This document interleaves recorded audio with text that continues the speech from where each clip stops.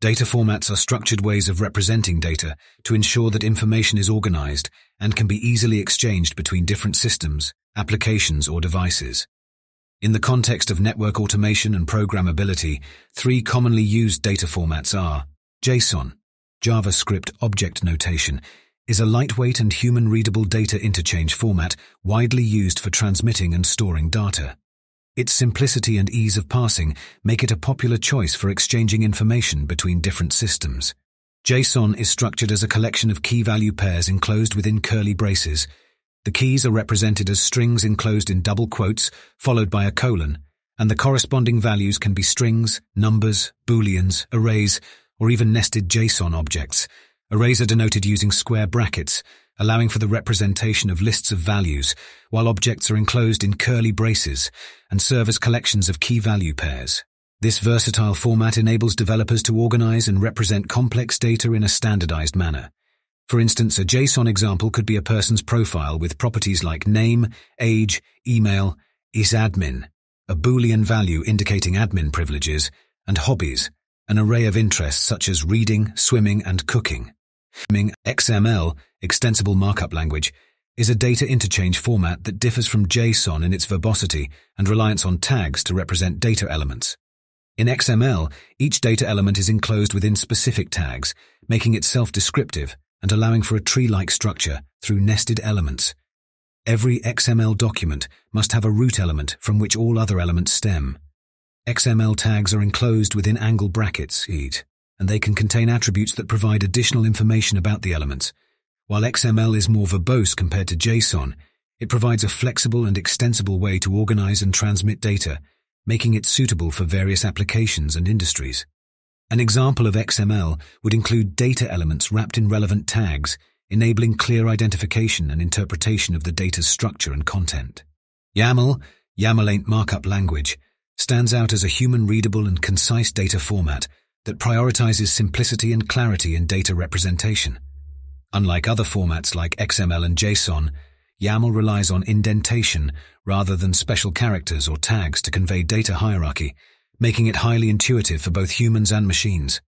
This characteristic makes YAML particularly popular for configuration files in various applications and systems, as it allows users to easily comprehend and modify the settings. In the provided example, a person's profile is presented in YAML format, with straightforward key value pairs for name, age, email, and isadmin, a Boolean value indicating administrative privileges. Additionally, the Hobbies field showcases how YAML handles lists of values with the help of indentation.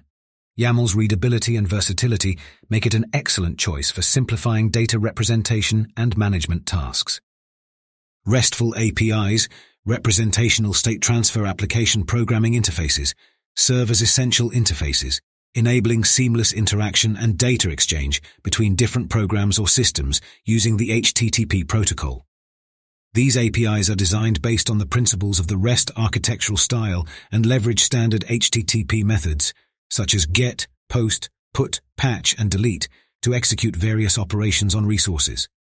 Several key features define RESTful APIs client-server architecture, RESTful APIs. Follow a clear separation between the client, front end, and the server, back end. This separation allows both entities to evolve independently, with clients making requests to the server and the server providing responses in return. Statelessness. One of the fundamental principles of REST is statelessness, where each client request to the server must contain all the necessary information for the server to understand and process it. The server does not retain any client-specific data or context between requests, ensuring that each request is complete and self-sufficient. Cacheability. RESTful API responses from the server can be cached by clients. This caching mechanism enhances performance by allowing clients to store copies of frequently accessed resources locally, thus reducing the need for redundant requests to the server. RESTful APIs have become the preferred choice for designing web services due to their simplicity, scalability, and compatibility with the widely used HTTP protocol. By adhering to these principles, developers can create robust and efficient APIs that foster seamless communication between different applications and systems. Configuration management tools are used to automate and manage the configuration of network devices in larger networks. These tools define logic and processes for making changes to multiple devices simultaneously. Some common configuration management tools used in the context of the CCNA exam are Ansible is a powerful and popular automation tool known for its agentless architecture, which eliminates the need for any additional software installation on managed network devices. Instead, it communicates with these devices using SSH or NetConf protocols, simplifying integration with Cisco devices and other network equipment. Employing a push model, Ansible facilitates configuration changes by pushing them from the control server to the managed devices. This approach ensures efficient and streamlined management, allowing users to orchestrate tasks, deploy applications, and manage configurations seamlessly across their network infrastructure. Ansible's simplicity, flexibility, and compatibility with a wide range of devices have made it a go-to choice for automating repetitive tasks and enhancing the overall efficiency of IT operations. Puppet is a widely used configuration management tool that predominantly adopts an agent-based architecture to support network devices, although certain devices may necessitate an external host with a proxy agent for agentless operation. To define configurations, Puppet relies on manifests, which are human-readable text files specifying the desired state of the network device.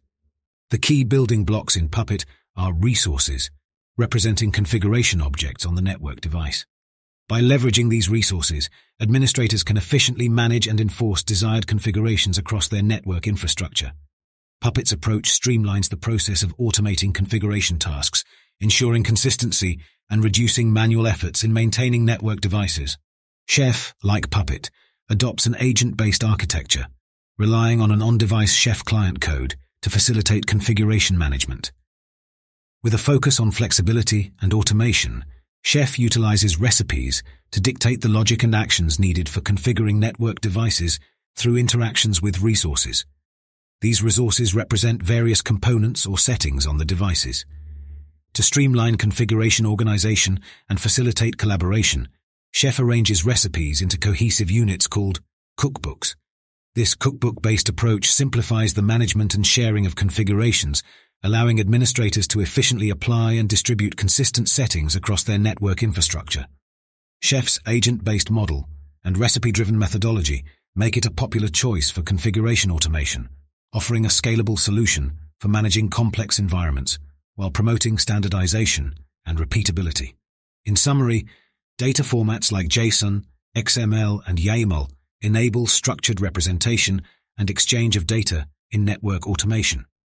RESTful APIs provide a standardized way for different programs to communicate and interact with each other over HTTP. Configuration management tools like Ansible, Puppet, and Chef streamline the management of configurations in larger networks, automating tasks and ensuring consistency across multiple devices. We hope this video helped you on your journey towards becoming a cybersecurity expert. Remember to subscribe to our channel and turn on notifications so you never miss out on our latest content. And if you found our videos helpful, please give us a thumbs up and share them with your friends and colleagues. Don't forget to check out the links and description for our Anki flashcards and to donate to St. Jude Children's Research Hospital. Your support can make a real difference in the lives of those in need. Thanks again for watching and we'll see you in the next video.